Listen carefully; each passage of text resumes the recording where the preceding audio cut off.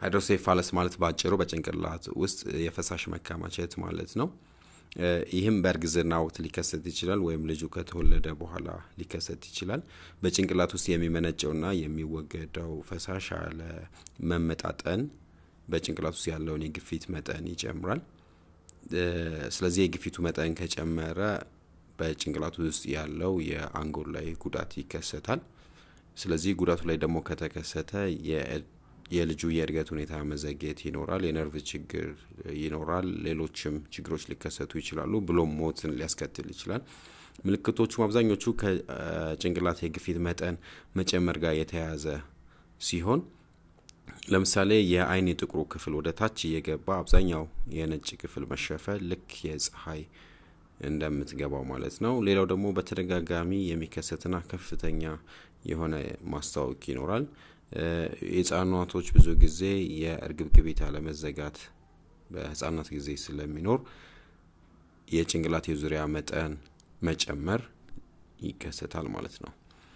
ስለዚህ በቶሎ ከታወቀ በቀዶ ጥገና ሊድን የሚችል ነው። ያው ፈሳሹን በመቀነስ የጭንቅላት የዙሪያ መጠንን እድገት መከታተል በጣም አስፈላጊ ነው። ልክ ክብደትን፣ ቁመትን እንደምንለካው ሁሉ የጭንቅላት የዙሪያ መጠንም መለካት ይኖርበታል። አለካኩ በጣም ቀላል ግን ከፍተኛ ጥንቃቄ የሚጠይቅ ሲሆን ከፍተኛ የዙሪያ መጠን ያለውን የጭንቅላት ክፍል መፈለግ ነው። ለምሳሌ ከፊት ለፊት ከአይናችን ቅንድም በላይ ከኋላ ደግሞ ወጣ ብሎ የሚገኘው የጭንቅላታችን ክፍል ላይ ሜትሩን እናስቀምጣለን። ከዛ አለመላላቱን እርግጠኛ እንሆናለን። በሚሊሜትር ደረጃ ያለውን ሁሉ እንለካለን። ከጎን በኩል እናነባለን። ለምሳሌ 41 ነጥብ 1 ከሆነ 41 ነጥብ 1፣ 41 ነጥብ 9 ከሆነ 41 ነጥብ 9 ብሎ ማስቀመጥ ነው። ማጠጋጋት አያስፈልግም። ከዛ ቻርቱ ላይ እናስቀምጣለን። እንደሚታወቀው የሴቶችና የወንዶች የጭንቅላት መጠን ይለያያል። እኛም ሀገር በ pink color ለሴቶች፣ በሰማያዊ color ለወንዶች የተዘጋጀ አለ። ስለዚህ ይህንን በመጠቀም ህጻናቶች ወደ ሕክምና ተቋም በሚመጡበት ጊዜ መለካት አለብን። በአግድም ወይም በኤክስ አክሲስ ላይ ያለው እድሜ ነው። በቁመቱ ደግሞ በ y axis ያለው head circumference ወይም የጭንቅላት የዙሪያ መጠን ነው። ለምሳሌ አንድ ህጻን ልጅ ሲወለድ መለካት አለበት። በአንድ ወሩም ሊመጣ ይችላል፣ በሁለት ወሩም ሊመጣ ይችላል። እስከ ሁለት አመቱ ጊዜ በመጣበት ጊዜ በዛ ላይ ያለው አለ። ስለዚህ ያን ጊዜ ጭንቅላቱን በምንለካበት ጊዜ 34 ሊሆን ይችላል፣ 35 ሊሆን ይችላል። መስመሩን ተከትሎ ነጠብጣቡንም ሆነ ደማቁን መስመር ተከትሎ የሚሄድ ከሆነ ችግር የለውም። ግን ከመስመሩ ቢወጣ በሌላ ጊዜ ሲመጣ ሲለካ ያ ችግር አለ ማለት ነው። ሌላው ሁለተኛው spina bifida በጀርባ ላይ ክፍተት በሚፈጠርበት ጊዜ የሚከሰት በሽታ ነው። hydrocephalus ን ሊያመጣ ይችላል spina bifida።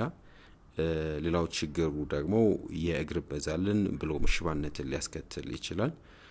ኦፕሬሽን ከተሰራ በኋላ የቁስሉን ንጽህና መድረቁንና ኢንፌክሽን አለመፍጠሩን መከታተል በጣም አስፈላጊ ነው። የእግር እንቅስቃሴ ጤንነት ለመጠበቅ ደግሞ ፊዚዮቴራፒ ማሰራት በጣም ያስፈልጋል። ስለዚህ አንድን ህፃን በቀን አንድ ጊዜ ከ10 እስከ 15 ጊዜ በእግሩ መጫሚያ ላይ በጉልበት ላይ እና በዳሌ አካባቢ ማንቀሳቀስ በጣም ያስፈልጋል።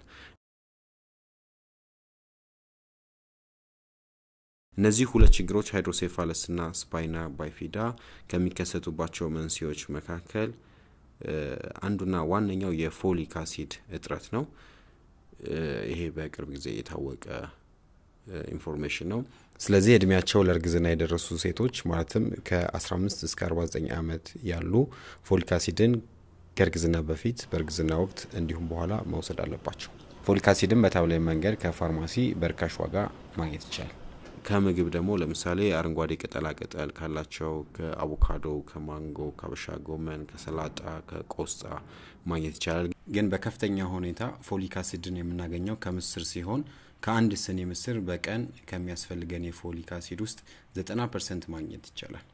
በመጨረሻም hydrocephalus ወይም spina bifida ከባድ የጤና ችግሮች ሲሆኑ በአፋጣኝ እርምጃ መውሰድ ያስፈልጋል። ስለዚህ በቶሎ ከታወቁና ከታከሙ እነዚህ ልጆች ጤናማ የሆነ ህይወት ይኖራቸዋል።